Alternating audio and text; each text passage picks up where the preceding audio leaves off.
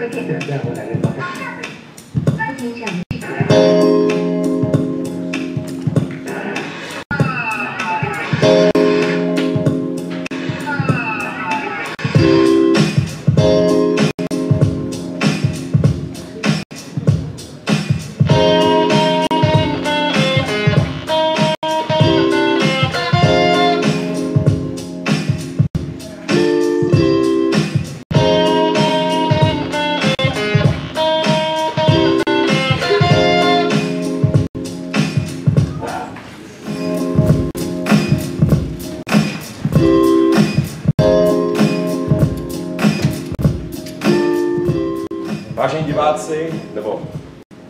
Účastníci interpelací, vítám vás na historicky druhých interpelacích. Dneska se stalo něco neobvyklého, my se většinou snažíme být aktuální, tentokrát se to stalo přesně naopak. Aktualita se přizpůsobila našemu tématu, takže už dva měsíce připravované téma umění důvtipu, což je tématem dnešního podvečera, se stalo aktuálnějším, než jsme čekali.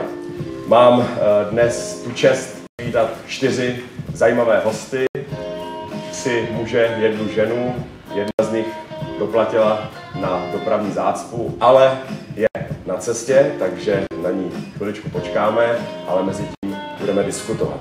Takže mým prvním hostem je Vít Barta.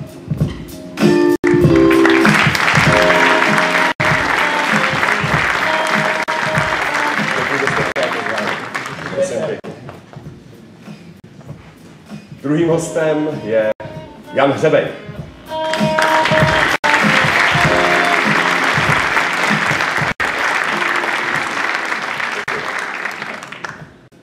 Třetím hostem je Miloš Zeman.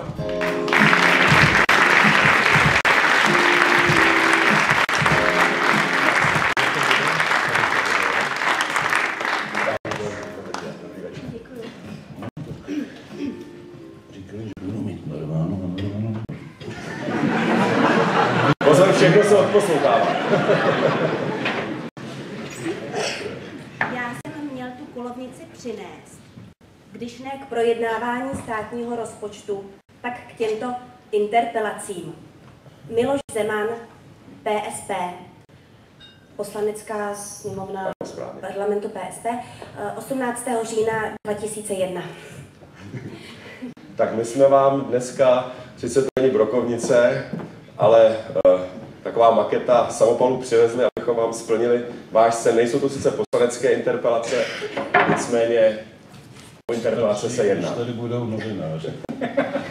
Novináře tady jistě najdeme některé. Tak, pánové, dáma dojede později. eh, Dopravní situace už není vaší starostí, takže vám to nebudeme vyčítat. Eh, eh, Tématem tedy,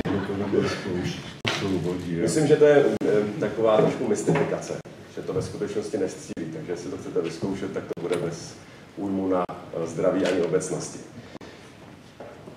Do jaké míry musí, nebo má, nebo může být politik vtipný? O tom s námi budou diskutovat i blogeři. To znamená, máme ještě dva hosty, jednoho pána, jednu dámu, kteří budou eh, jaksi s námi za plentou, protože jsme nechtěli je nutit, aby zveřejňovali svoji totožnost, protože se pravidelně podílejí na diskuzi pod blogy na aktuálně CZ. Je mezi námi dáma, vás vítám. Anuška, dobrý den, blogerka. A bloger, který je těm, kteří blogujete a diskutujete, známý pod nikem SUP. Vítám vás. Tak, můžeme začít. Pánové, vy všichni jste eh, součástí veřejného života. Do jaké míry je vtip a důvtip rysem českého národa?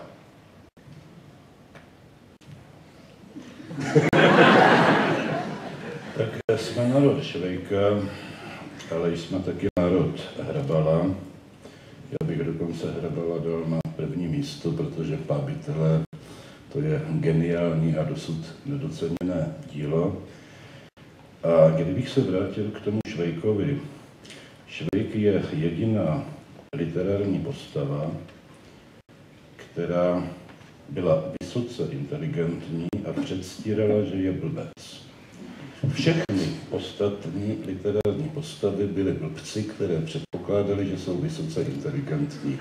A v tom je základní rys českého humoru. A jak si myslíte, že jsou na tom politici? Ti předstírají, že jsou vysoce inteligentní. A je ten lakmusový papírek právě umění důvtipu? Pozná se to podle toho? Tak podívejte se, každý politik, já teď mluvím jako vysloužilý politik, takže mě se to netýká. Ale každý aktivní politik předpokládá, že je vysoce důvtipný. A to je právě ta chyba. Protože jestliže to o sobě předpokládáte, tak důvtipný nejste. Člověk má o sobě vždycky pochybovat. Má si říkat, tohle neznám, tomu nerozumím, jsem v podstatě idiot a měl bych to alespoň na veřejnosti přiznat. Ale když někdo ze sebe vydává téměř genia, téměř Pána Boha, tak on nejenže není důvtipný. Viděl jste někdy, že by zavtipkoval Stalin, že by zavtipkoval Hitler, že by měl smysl pro humor Milouš Jakeš? Asi ne. Čili k důvtipu patří především pokora a sebepochybování. Tečka. Tak, jak vy se dokážete dívat na sebe s nadhledem? Tak eh, moje okolí říká, že jsem ztratil smysl pro humor v momentu, kdy jsem do politiky vstoupil a přiznávám, že někdy mám taky takový pocit. A co se týče Švejka, tak mě se mm, první, když se řekne Švejk, tak se mi vybaví, když jsem já četl v nějaký sedmý třídě základní školy Švejka, tak jsme se vraceli z dovolený v Chorvatsku, tehdy v Jugoslávii. A já jsem to četl tak intenzivně, že když jsme potom v noci přespávali v nějakém hotelu někde v Jugoslávii, tak se otec v noci vrátil s matkou na ten pokoj a mě nějak probudili a do dneška se mi jako doma smějou, že jsem prej jako se postavil do pozoru a řekl jsem, poslušně hlásím, koukám na tachometr, když se mě otec zeptal, co tam dělám. A prý jsem se, se v klidu lehnul a dál jsem spal, takže jak tomu Šejkovi mám tak od té doby tak jako hlubší vztah. Myslím si, že Švejk je postava, která se trošku příliš přání, že je úplně českou vlastností. Já si myslím, že my Češi bychom měli být i sebevědomější a, a, a už si uvědomit, že nežijeme pod jihem Rakouska-Uherska, ale že už jsme samostatným, sebevědomým, alespoň bych byl rád, sebevědomým národem, ke kterému ten humor má patřit a určitě souhlasím, že i ten sebeironický humor by měl patřit, ale nemělo by k němu patřit to takzvané švejkování, který samozřejmě i v politice na úrovni úředníků, ale i některých konkrétních slabších osobností v té politice můžete pořád e, jakoby vidět, že, že někdo chce otrocky splnit nějakou instrukci a nakonec toho vyleze něco úplně jiného. E, tak tohleto švejkování, to si myslím, že mm, bychom s tím měli trošku bojovat. Jane Řebejku, vy jste na toto... Napoleon. Napoleony pro koho? Jo, to je sebeironie, ano, ke mně, prosím. Napoleon, Děkuji. Napoleon je to nejlevnější kořálka, pane Bar. Zeman. Jak jste na to přišla? Já chtěl Sauvignon. Víte, že vypadáte jako Lucie Bílá, teda v mladších letech? Děkuju. Já Děkuju, bych tak se stala. To super. je za to víno. Tady pro vás. Vás ale já znám. Já vás taky znám. Vy jste ten režisér, že jo? Ano. Bábara. Jmenuje se pomáhat.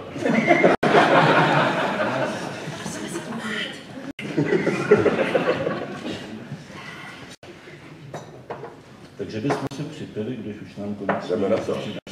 Děkujeme. Prosím, Lucie. prosím. Tak na zdraví. Na zdraví. Jdu vtipný národ.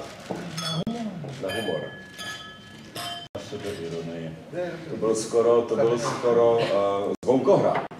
Tak uh, Jane Hřebejku, jak to je? Vy se tím do jisté míry živíte. Uh, je český národ, národ člověku, je ten náš humor uh, to, co nám pomohlo přežít, jak se často říká, mezi těmi velkými mocnostmi? Ne, já myslím, že český národ není národ švejků a že švejk je literární postava, která je, se ocitla v tak významné knize a tak si ji přivlastnilo tolik, eh, eh, tolik čtenářů i v zahraničí, že se to zjednodušuje, ale je to hlavně protiválečný román, který byl napsaný v roce 20. A já si myslím, že typický český humor, takový ten chytrej, asi nejlíp reprezentují Superman. Že to, je, to je taková věc, na který se asi shodne nejvíc lidí, kteří chtějí aspoň třeba i chytře vypadat. Protože v tom, je, v tom, je, v tom Cybermanovi je mnoho, bych řekl, vlastností eh, typických pro Čechy. Jednak to datum toho vzniku je nám blížší, když už to divadlo trvá neuvěřitelně 40 let. A Přišla dáma.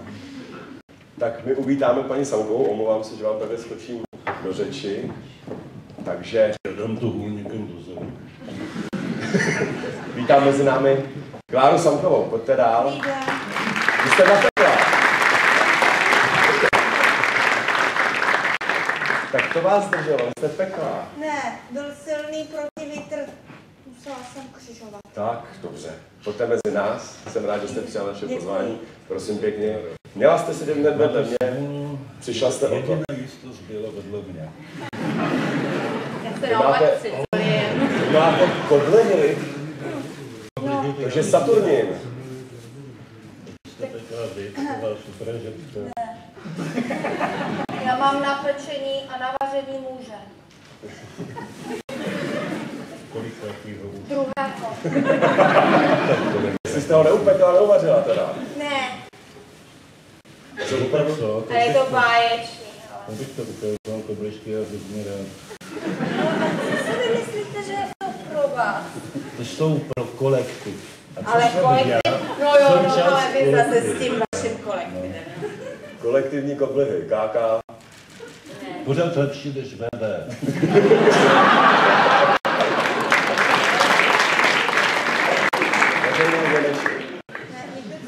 Já, se omlouvám, kromě toho, že jsem teda bez pomoci Jacka Sparrowa křižovala proti větru, eh, tak jsem také po dlouhé a těžké nemoci.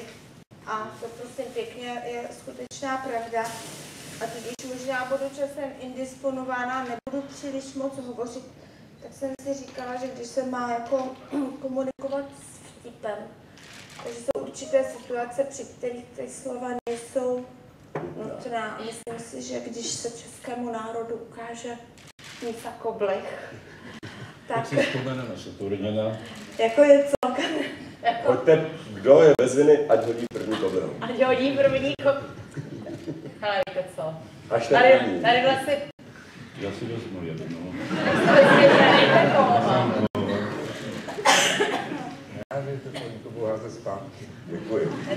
Chcete někdo koblinu? Sáro, do koblik, teda pára. Kláro. A nevím, jaká asociace freudistická mě přiměla k tomu, aby vám říkal Sára. Kláro, do kobrych evidentně patří Meruňková zavařenina, ona malinová, vysvětlete svému manželovi. Meruňková a ještě jednou Meruňková. Mně přijde hrozně fér tady lidem je vystavit těm koblihám a sledovat na to, jestli, jestli někdo se bere odvahu. hodíme. Přijde. Chcete po sobě někdo nechat To je mimo režii, takže tím pádem je to povolené. Když to pošlete kolovat, myslím. To by se ztratil ten tác, to ne. Ale tady není vaše členská základna.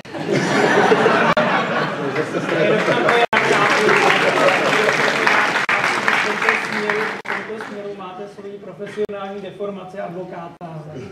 Nás to tak zní. Ta je vycvičená praxí. 20 let je 20 let. No tak právě jste nám předvedla, že dokážete velice ducha přítomně, uh, přivést vtip nejen verbální, ale konec konců i sladký.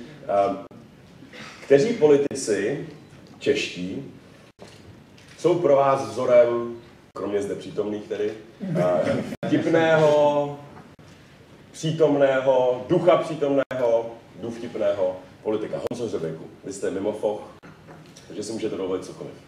Eh, Karel Schwarzenberg. Uh-huh. Eh, Já na tom humoru, který on používá, mám rád, že, že to je humor, který většinou je přesný.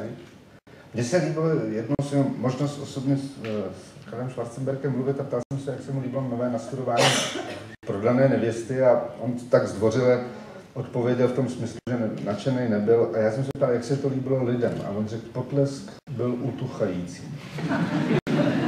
A to se mi strašně líbí, tenhle ten typ humoru mám rád. Já jsem to nedopověděl s těma Sibermanama. Jo, Já si myslím, že pro český humor a i pro humor, který já považuji za dobrý, tady v tom teritoriu je důležité, že ten humor je takový sebeobran, že není útočný. Když je útočný, tak je většinou dost blbej. Jo, to jsou takový ty naši smědí ob- spoluobčané tenhle ten typ humoru, který víte, co mám na mysli. Ale e, když je to takový obraný humor, tak to, což jsou ty Cybermani, což je ostatně i ten Saturn napsaný za okupace, tak je to, je to to lepší z nás. Klára Somková, vy máte zkušenosti z této oblasti. Do jaké míry může být dobrý vtip, eh, který do jisté míry se týká menšin nebo je třeba sexistický? Může vůbec existovat dobrý, a mírně rasisticko-sexistický vtip? Což Jo, je krásný považuje za... může. filmu Legally Blonde, když úžasná právnička blondina opouští svého kolegu, který veze odkud si kam si. A on se jí ptá, ty poslyš, a co kdybych já byl blondin? On se na něj podívá a říká, to bys neustal. Eh, ale v zásadě si myslím, že je to vždycky blbě, jako dělat si srandu z někoho za něco, co nemůže. Karlo, já bych na toho. Nejkrásnější, nejkrásnější anekdoty jsou židovské anekdoty. Jo? A blbec by označil židovské anekdoty za rasistické, židi si dělají legraci sami za sebe, ale ten styl humoru těch židovských anekdot je přece tak nádherný, jo? že žádná rasa, žádný národ se k ničemu podobnému ani vzdáleně nepropracovala. A přitom jsou to anekdoty, kterým skutečně můžete dávat nechtěně rasistický podtext. Eh, No, já teda nevím, ale jak když jsem pobývala nějakou delší dobu v Londýně, tak jsem se tam nejraději dívala na indické sitcomy, ale dělané v Británii, který hráli britští indové a dělali si srandu z Indů v Británii. A musím říct, že to jsem se skutečně jako zakusovala do polštářů a tak jako jsem cirkulovala po zdech a myslím si, že to jako těm židovským vtipům velmi jako, a, se blížilo. Myslím si spíš, že je to otázka jako nadhledu toho národa nad sebe sami. Mimochodem teda je pozoruhodný, že Češi si nedělají srandu sami ze sebe. Jo, dělají si srandu z politiků, z policajtů, z blondýnek. Já sbírám pra- vtipy o advokátech, mimochodem, kdyby byl z publika nějaký nový přírůstek. Ale od Češích jako takových jsem fakt neslyšela dobrý vtip. No, máme tady, koukám, první dotaz uh, od Jardy. Co říkáte typizaci politiků na suchary s velkým S? Například Nečas Sobatka a Babiče, Kalousek Kubera. To možná i na naše plentaře. A máme tady podezření, jestli se nejednalo o úplatek koblihový. To teda. Co vy A tedy netrvalé povahy. A já bych si dovolila pro ty službu, myslíte, že jste tady našla kus vody, i když jsem teda jako přišla pozdě? Jestli můžeme poprosit obsluhu. Já bych Já jsem, No, už je tady omlouvám, ale já jsem tady našla v zákulisí obálku na zemi, není to náhodou ničí. Jo, a tady pro dámu. Takže, tak. Případně pošlete dál. Tak to vypadá bezpečně. Nepoteče voda, je tu napsáno. 12. To je vydírání. Tak eh, lékaři, co vy na to? Začněte možná vy. Co vy říkáte na typizaci politiků na suchary, řekněme seriózní lidi, kteří mají image, že tak si pracují a berou věci vážně a ty baviče. Tak eh, mezi tím, než se plentaře rozmyslí, tak co vy na to? Jde takhle vůbec kategorizovat česká politika nebo politika vůbec? Nejde. Nejde. A já myslím, že jde, že opravdu jsou vtipnější a méně vtipnější politici. Uh, nicméně, nicméně, a, ano, se ty vtipnější, ty vtipnější jsou, a to souhlasím s panem že obvykle vtipnější politik je ten chytřejší politik, to je pravdou. Nicméně, já bych se vrátil k těm Zimmermanům. Já, si myslím, že Zimmermani, a souhlasím s váma, jsou, jsou nejblíž tomu českému humoru. Já z pozice politika stále nejvíce přemýšlím nad tím heslem královsky se ti odměním, zavřu tě až černáš. To, to je opravdu mm, jako hluboce eh, zakořeněná myšlenka. Teďka přiznávám, že sám na sobě sleduju jiné Cimmermanovské heslo, kdo chvíli močil, již močí opodál. To je taky taková celkem populární teze. Jinými slovy řečeno, zase je to o tom, že to není jenom vtipné, ale je to i moudré, je to i inspirující. Já navážu. Mě to dělení připadá jako zajímavé a rozhodně bych dal přednost člověku, který si dokáže dělat legraci sám ze sebe. Teprve potom má právo dělat si legraci z těch druhých před sucharem, který si tu legraci dělá. Nesouhlasil bych s názorem, že suchar je pracovitý a vtipálek je líný. Konec konců, když je suchar pracovitý, tak někdy pracovitý idiot udělá daleko větší škodu než líný. A Kreativní blbec horší než tři dny nepřítel. přesně tak. Ale i když tohle není o vtipu, mě nesmírně oslovila typologie Maxe Webera, který říkal, politiky dělíme do dvou druhů. Politiky, kteří žijí pro politiku a politiky, kteří žijí z politiky. No já mám dojem, že těch druhých, bohužel, přibývá 96,1.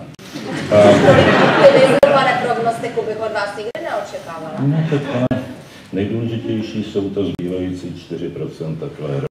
Teda, ale to nejsou ty 4%, to jsou jiný 4%. Ne, to jsou moje 4%. To vaše čísla až tak. Exempla, exempla selecta. Vaše No, doufám, že to nikdo nevzal jako pravdivé tvrzení. Ale vracím se k tomu Weberovi. nikdo nepochybuje. Ještě, vy jste měli 11, že jo? No a kde jsou? Kde jsou? No, takže, k tomu základnímu. Celý problém je v tom, že přibývají ti lidi, kteří žijí z politiky, ať jsou to byty na Floridě, ať jsou to toskánské vily, ať je to cokoliv jiného. Meeting na Štrbském plese, jestli si ještě vzpomínáte. Ježišmarja, prosím, já. Ne, to jsem se jenom obrátil k nejatraktivnější člence tohoto panelu. A vy to berte Kláru jako lichotku a nikoli jako prášku. Já a pštrbské pleso, já jsem poctivý kavárenský povaleč. Mě v No. tak nevlídném prostředí nemůžete nikdy odhalit. Štepské kreslo se konalo v kavárně. Je vidět, že nejste informováni. Ale dokončím, jak říká v jedné řeci Merman, dokončím. A vy skupinou B se nestačte být skupinou A, abych pokračoval. Takže mám takový dojem, že lidi, kteří žijí z politiky, dnes přibylo do té míry, že dneska už vlastně vůbec nejsou spory o programy. Dneska jsou spory o koryta. A když se rvete u koryta, tak humor nemá žádný místo. Jo? Protože to si musíte nadávat, to musíte jednoho obvinit, že je debil, druhého, že je alkoholik, třetího, že je kavarenský povaleč, abych převzal vaši terminologii, ale to je celkem ještě něžné obvinění. A jakmile se rv, lidi rvou ne o věc, ale o koryta, tak je to prostě špatně. Lidi se mají rvát o věc, Vzpomeňte si na Fausta, jen ten je hoden svobody a žití, kdo rve se o ně den co den. Rvát se o něco není žádná chyba, ani v politice.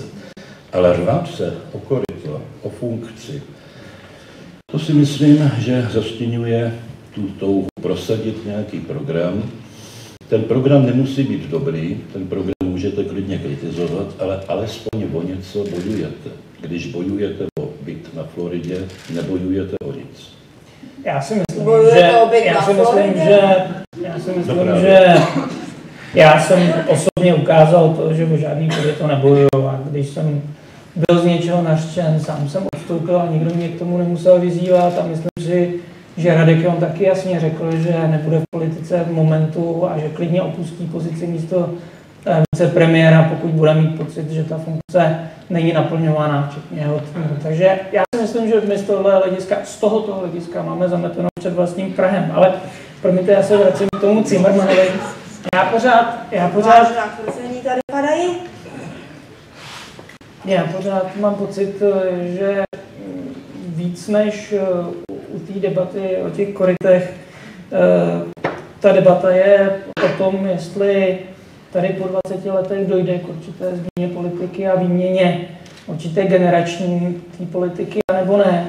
To je, to je ta bitva, která se z tohohle hlediska hraje. A e, naopak já se nebojím říct to, že Uh, jestli jste mluvil o Max Weberovi o tom vztahu k té politice, tak já osobně třeba u sebe vnímám ještě uh, z tohle hlediska tu třetí kategorii a to, že ta politika naopak vás může i jako velmi vysávat. A, a pocit toho, pocit toho, že naopak uh, v té politice nemáte šanci přežít, že, že hm, v politice přežívá jenom určitá kategorie lidí, to je, to je nejsilnější dojem z politiky, které já za posledních 11 nebo 10 měsíců té intenzivní politiky mám.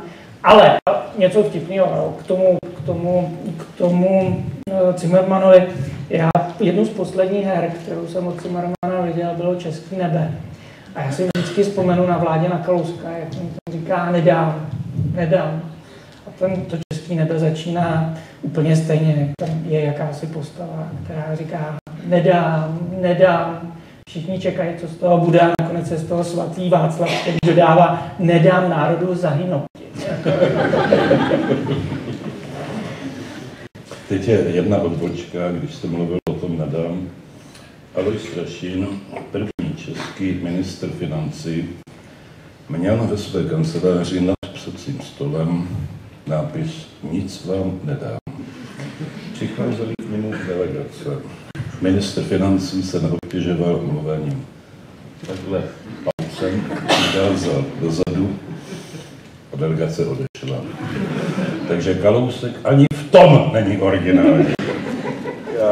Chtěl jsem poprosit pana Bártu a Zemana, jestli nemají nějaký pěkný nový politický vtip, to asi Jan Hřebej já zná historku, veselou historku z natáčení, nový, tedy teď jsme slyšeli jeden z nejstarších, který je poslední dobou pobavili, teda kromě mystifikací.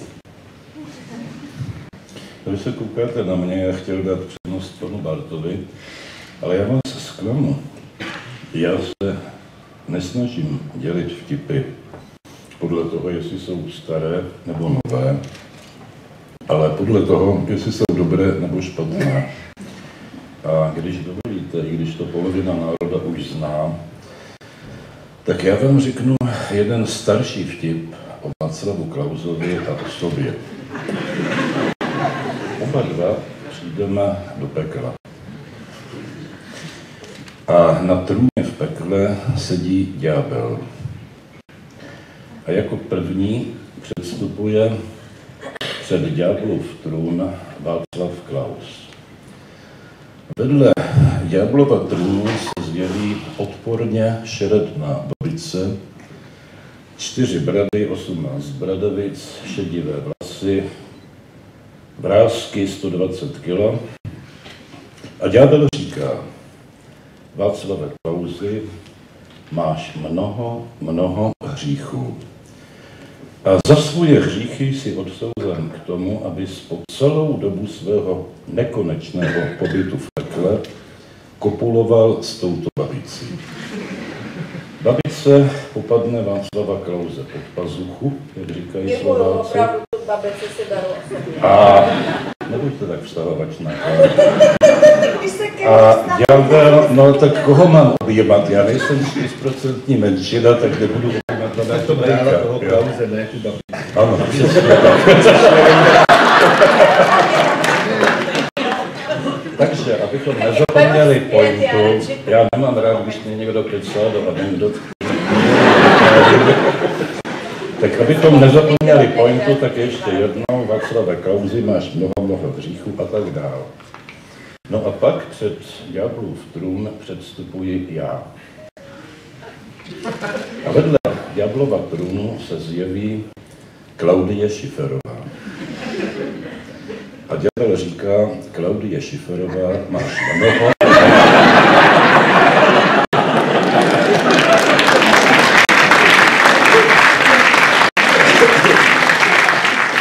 Tak eh, dáme slovo ještě dalším s veselými historiky z natáčení, které tedy nemusíme nutně omezovat na dobu současnou ani na tento svět, jak koukám, že jsme se dostali i do, i do a, záhrobí, ale připravte si dotazy. A já myslím, že tam jsme velmi usilovně, aspoň jako tímhle tím směrem, co je Strakovka, Jo, takhle. tak tam jako myslím, že to je, tak, tam ty čertici už docela pěkně strašně.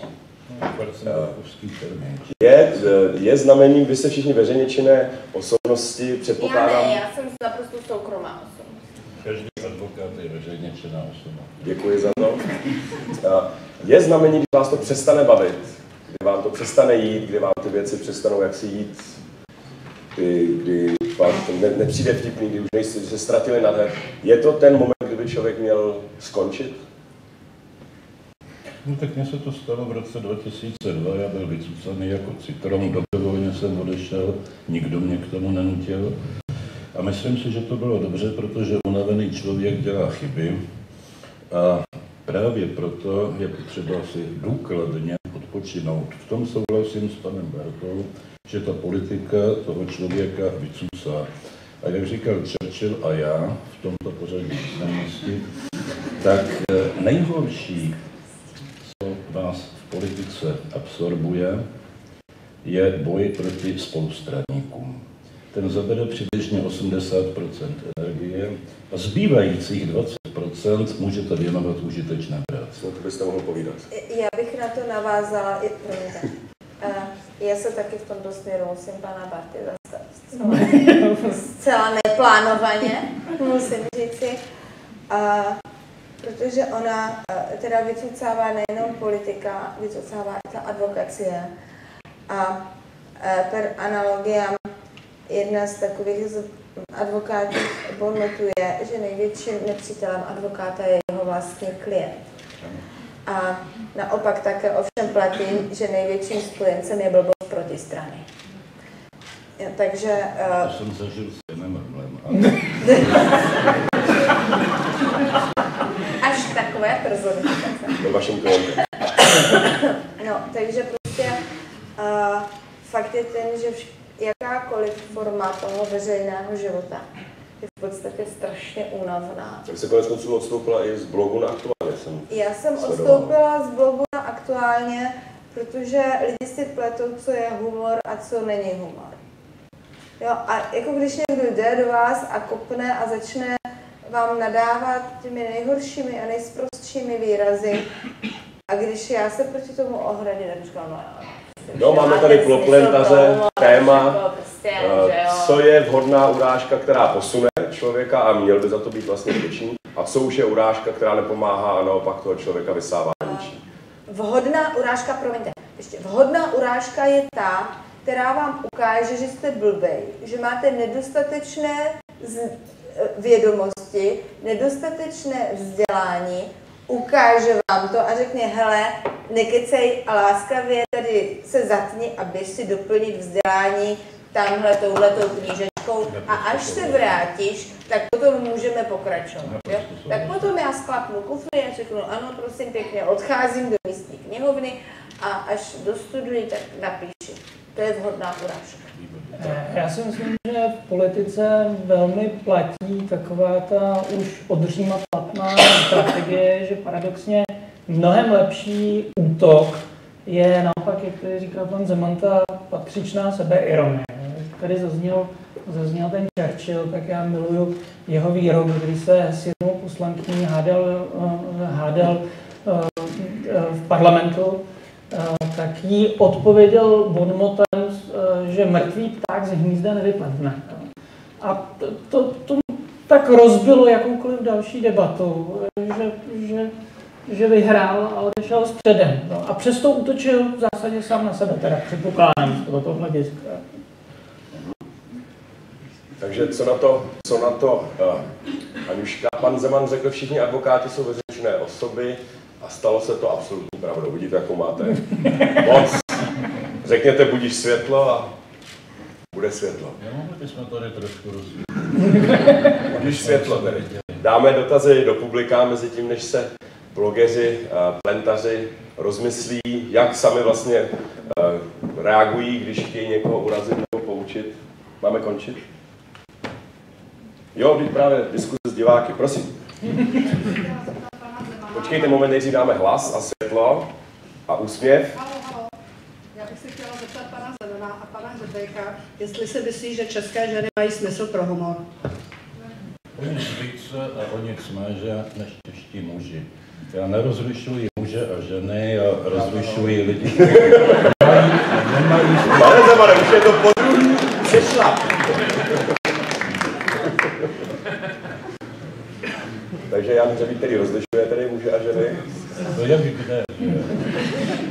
A jak přičem. Pochopitelně, že eh, mají smysl pro humor. Já znám tolik vtipných žen, že kdybych řekl něco jiného, tak bych lhal.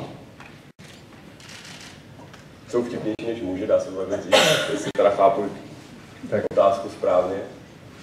Jinými slovy, vy chcete pochvalu. Tak Dejme pochvalu. Ne, žen, žen, ne, já myslím, že ten, že ten ženský humor je trošku jiný. Není asi tak extrovertní, nebo neprojevuje se. Takový tak domácí humor, když Ne, ne, ne, jako chytrý humor se neprojevuje tak extrovertně. No, žádný, jako, že bych znal někoho, nějakou, ženu, která by dělala třeba takový humor jako Jaroslav Dušek třeba, to neznám. Ale já myslím, že, že to je takový. On je takový, takový eh, psal Jiří Mucha a v knižce eh, Studené slunce, že ženy jsou jako malé národy a rovně nejdou nikdy k cíli. Jo?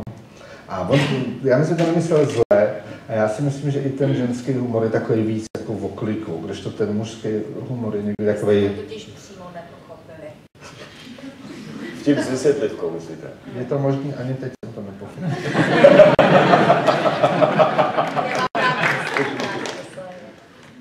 Máte na to nějaký uh, názor, připomínku? Jaké jsou, jak vtipné jsou české ženy a proč je tak málo v politice, teda, když jsou tak vtipní interně? Ně, někde hluboce uvnitř.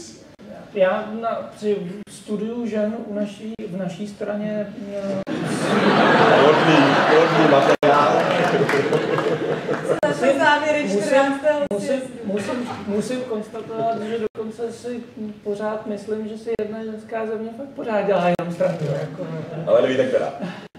To by bohužel, to, to, já to Vaše vím velmi dobře jako, a jasně, kdo by si ze mě tak jako mohl dělat srandu a, a byl bych strašně rád, kdyby to byla jenom nějaká velká ironická hra. Taky přesadíte. Já to se přesazuje. No. Tak prosím, máme tady další diplom. Další otázku z první řady. Máme odvážnou první řadu. Prosím, počkejte chviličku. Tak, jste správně nasvícená. Já bych měla dvě otázky, jednu na pana Bartu a jednu na pana Zemana. Eh, Na pana Bartu eh, použijí Márkyho zákony, že volby jsou disciplína, která jednu eh, skupinu politiků, na kterou se jedna skupina politiků velmi, velmi, Blíž velmi těší a druhou skupinu politiků volby velmi děsí. Do které skupiny by se teď zařadil pan Bárta s věcmi veřejnými? A potom bych se chtěla zeptat eh, pana Zemana, eh, protože pořád bijeme do politiků, protože mám zkušenosti z komunální politiky a i trošku té vyšší, tak zda souhlasí s názorem pana Churchilla i v tom smyslu, že velkým argumentem proti demokracii je to, eh, když se pět minut pohovoří s běžným voličem. Tak já musím říci, že určitě se voleb eh, nebojíme. Naopak eh, já musím říct, že poslední K12, kdy se rozhodovalo o tom, jestli... Zase ta K12. Tak budete mít 16, pak 32, pak 64. Nakonec to dojde Jste optimista. na 8 milionů, což je počet oprávněných voličů a konečně tady nastane ta přímá demokracie, kterou jste inzerovali před volbami. Promiňte, že jsem vás přerušil. Začali jste K3, už jste u K12, za dva roky budete u těch 8 milionů.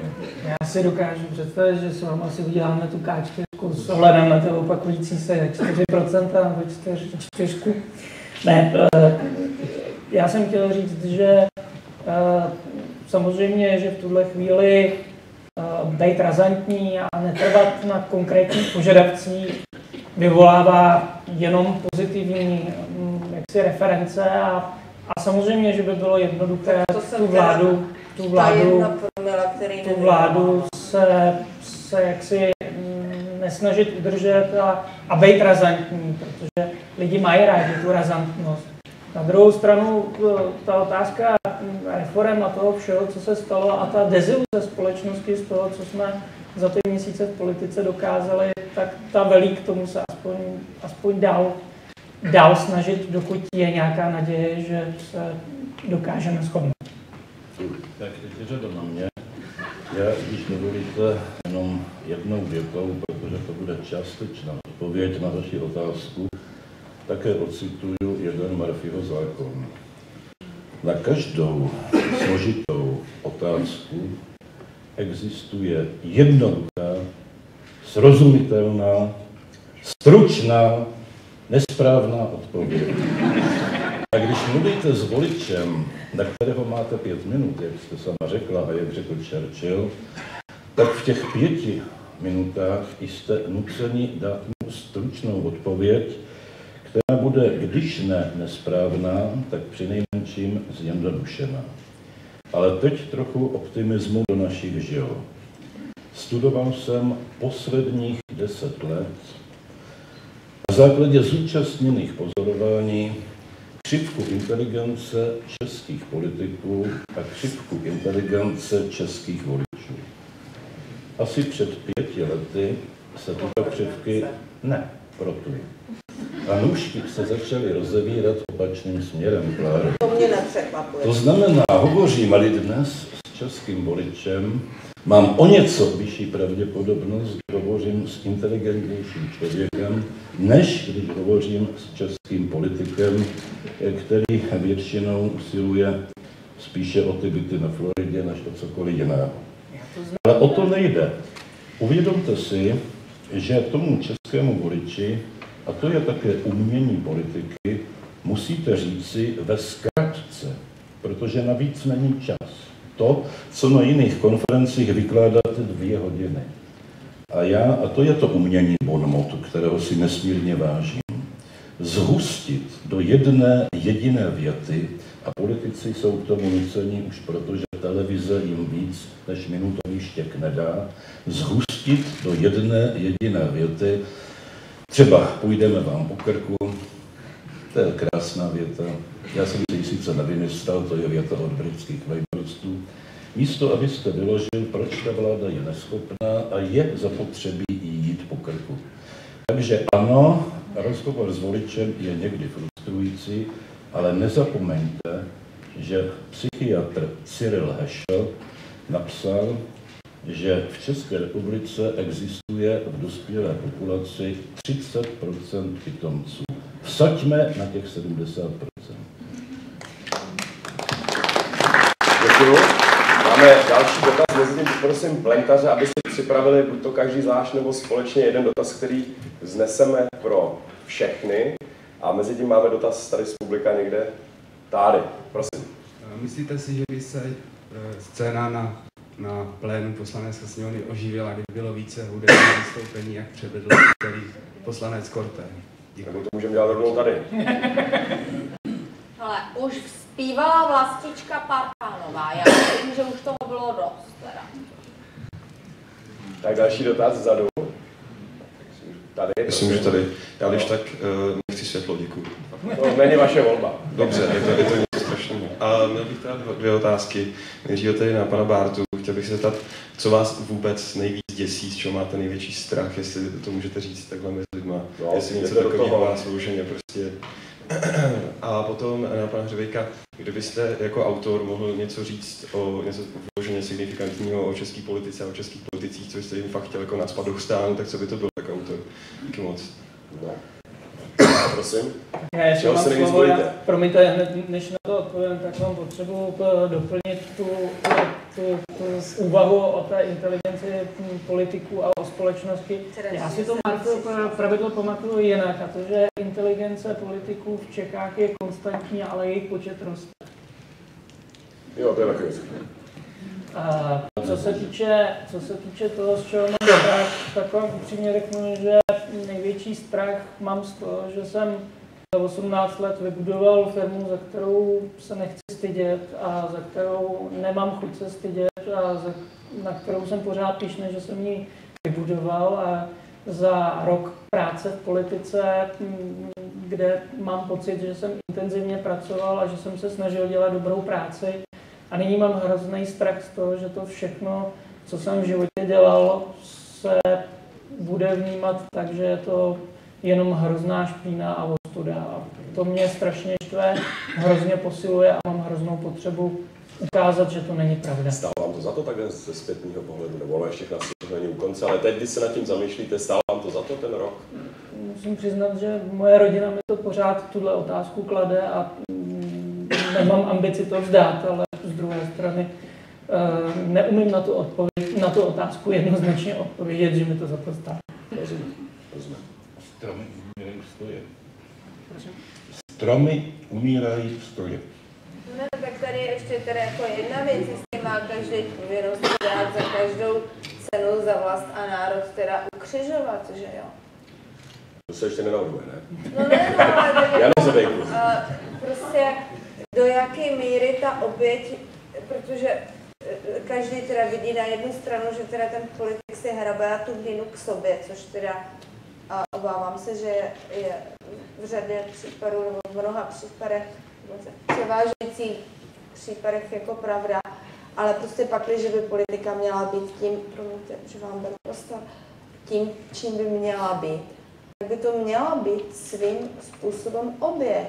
A teďka to, to publikum, to voličstvo říká, ale ještě není ta oběť dost velká. Ještě musíš tadyhle 20 ran byčem a ještě musíš po žhavých uhlíkách. Jo.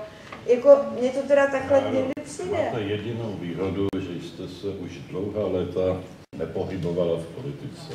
No, doufám, že Uvědomte si, že drtivá většina politiků ve volební kampani v televizních diskuzích i jinak říká, no mě to nebaví, ale já se obětuju.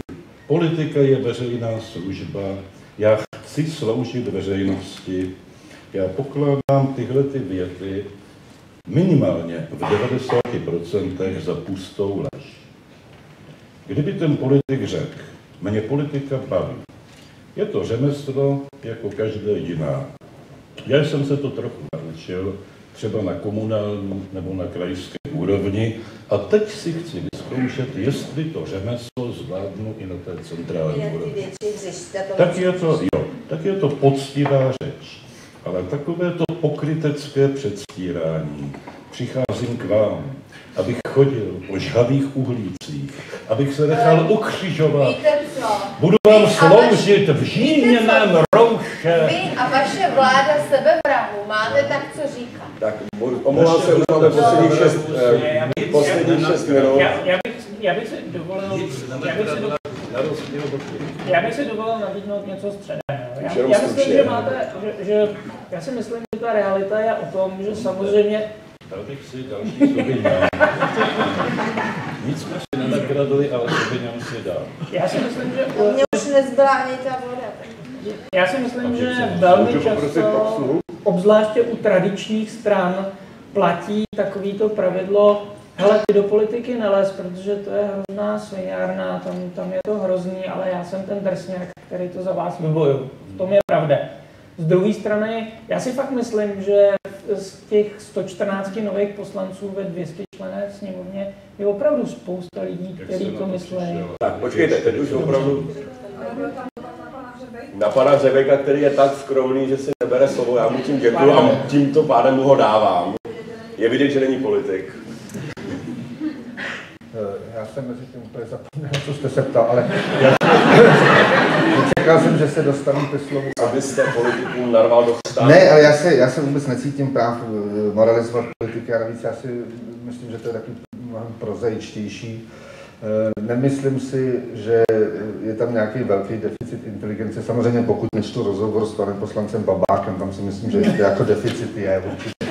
Ale, ale tam, ale eh, I s jinými, ale nebudeme Ale- personifikovat. já, já si myslím, že, že problém není vůbec přece v tom, jestli ty lidi jsou inteligentní, ostatně zastupují i poměrně mnoho neinteligentních lidí.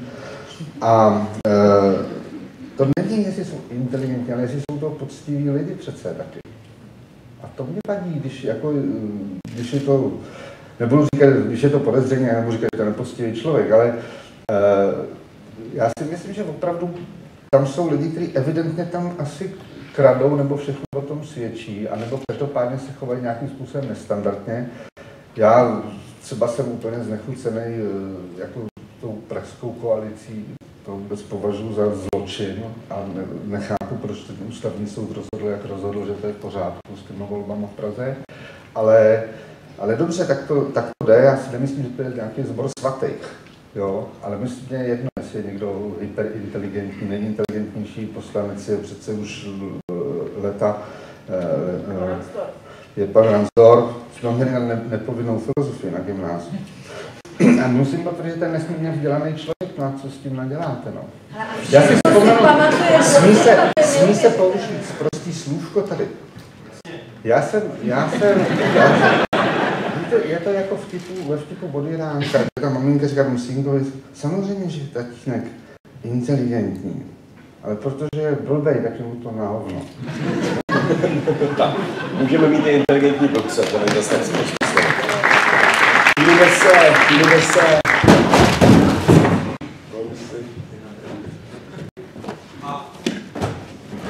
Zpět interpelace, ne? A kde je to víno? A víno víno, já budu. Máme tady šanony. Přátelé, máme tady vlastně takového klauna, jsem pochopil. Uh, Václav Klaus, uh, Václav Havel uh, se tak nějak rozloučil se svou et- politickou etapou, takže o tom do jisté míry natočil uh, takový uh, satiru, satirický film sám o sobě. Máme poslední minutu jenom stručně. Jak se vy hodláte rozloučit s veřejným životem? Natočit film, napsat knížku, vy už jste napsal, vrátit se na blogy aktuálně. Jan Řebek napíše svůj, svůj zlatý hřebí, hřebíček. Já se necítím, teď jako přemýšlím o tom, jak budu končit, budu stručný. Mně přijde úplně rozkošný, jak ta rivalita mezi dvěma Václavy že záhy po tom odcházení přišel Václav Klaus s tou etídou s tím perem a tím teda definitivně zahambil toho Havla, protože nestálo to. Daňové poplatníky se to rozčilou, že Havel za peníze. Nestálo to nic, hraje v tom hlavní roli. Pobavilo to mnohem na YouTube, asi To je jen tak odcházení. Myslím, že tady ta rivalita... Tak poslední slovo dávám vám. Jak vy se hodláte, hodláte-li se loučit? Nebo v ideálním světě, jak se rozloučíte s politikou? Já se nehodlám loučit a to nad tím nepřemýšlím, protože nemám odpověď. Dobře. Tak v tom případě uh, ukončíme uh, tu naši první přímo přenosovou část, ale účastníci, kteří jsou na nové scéně, budeme pokračovat uh, v aktivní diskuzi. Moc krát děkuji za vaše příspěvky, jak plentařům, uh, Aňušce a Supovi. tak eh, lidem, kteří se účastnili přes internet, aktuálně.cz, nejvíce vám a mým čtyřem důvtipným hostům. Děkuji moc.